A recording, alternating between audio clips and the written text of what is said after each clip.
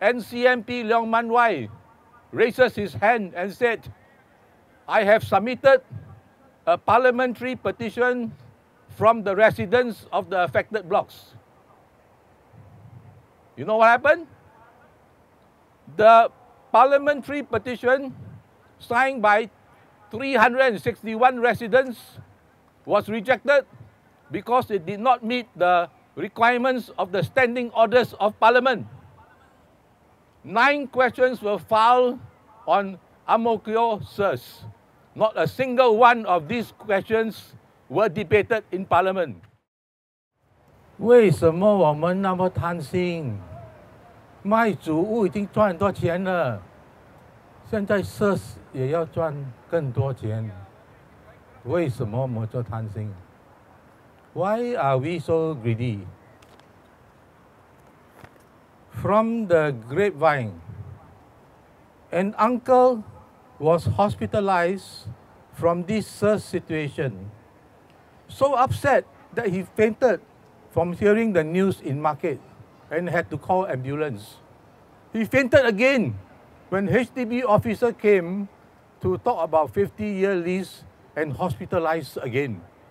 Now he's back home.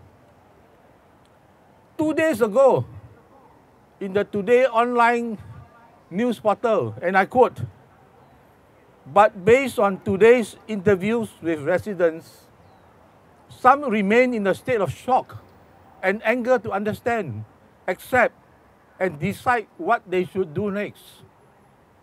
Last time means damn lucky you kena SERS.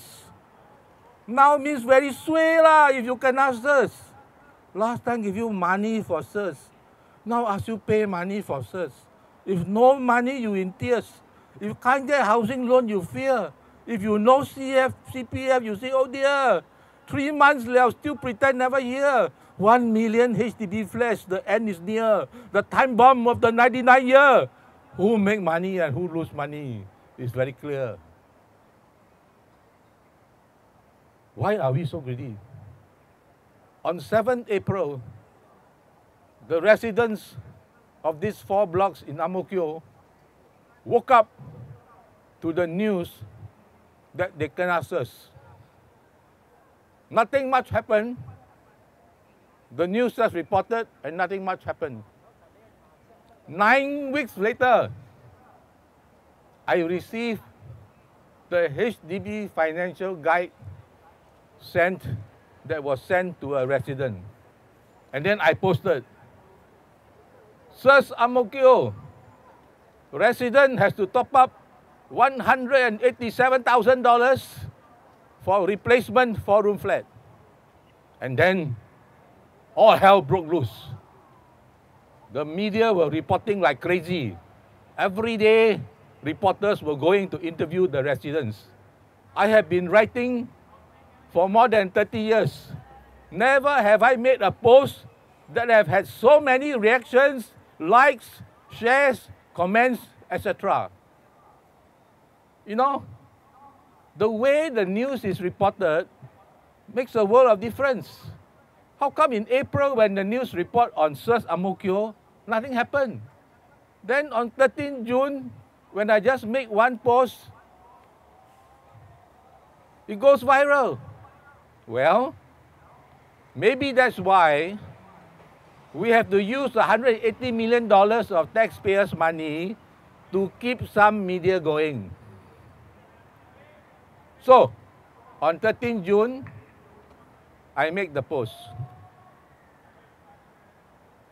On the 27th of June, 325 residents out of the 606 affected residents submitted a petition to the minister. Three days later,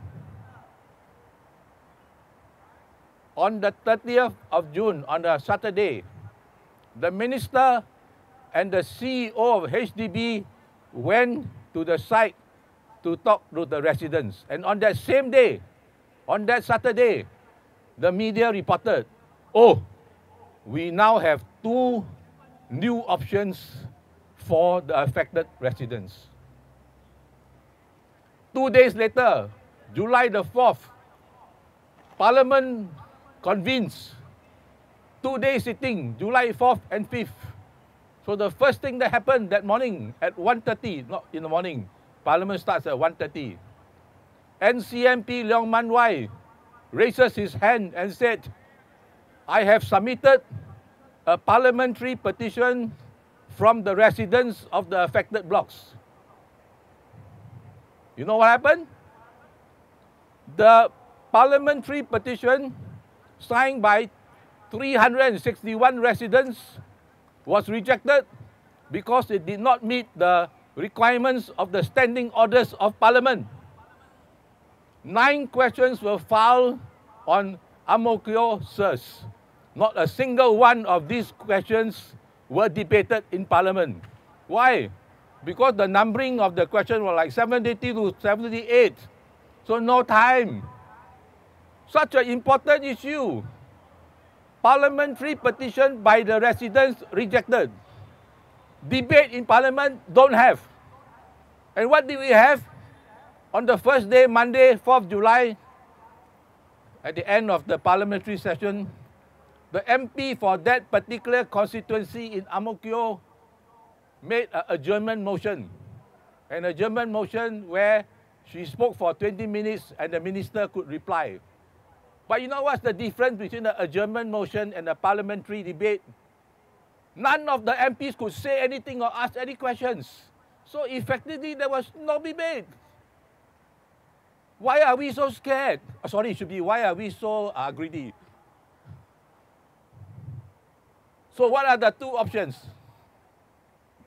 But before that, you have heard many of the speakers say, it came as a shock to the residents of Ang Mo Kio because in practically all the previous about 83 SERS in the history of Singapore, almost all most, if not all of them, they don't have to top up any money. Most, if not all of them, were more than 30 years old.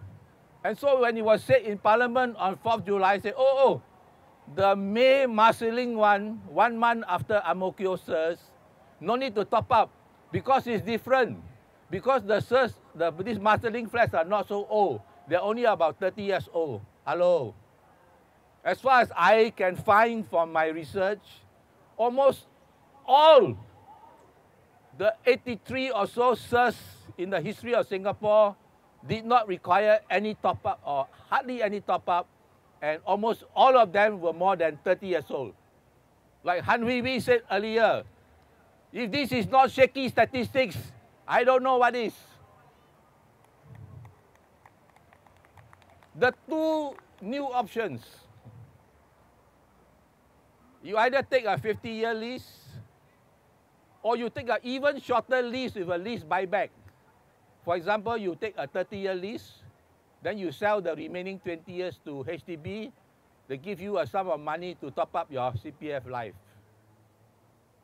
What if you are still alive after 30 years? Oh, they said, don't worry. When the time comes, uh, we will figure out something for you. and you know, the solution to solve the problem has created an even bigger problem. And what is the big problem now? Imagine you have all these blocks of flats. They are a mixture of 50 years lease and 99 year lease. So, if I want to rent out my flat in this block, the rental is the same, right? Whether I'm a 50 year or 99 year, the, person who rent from me will probably pay me about the same amount. So what's the big problem?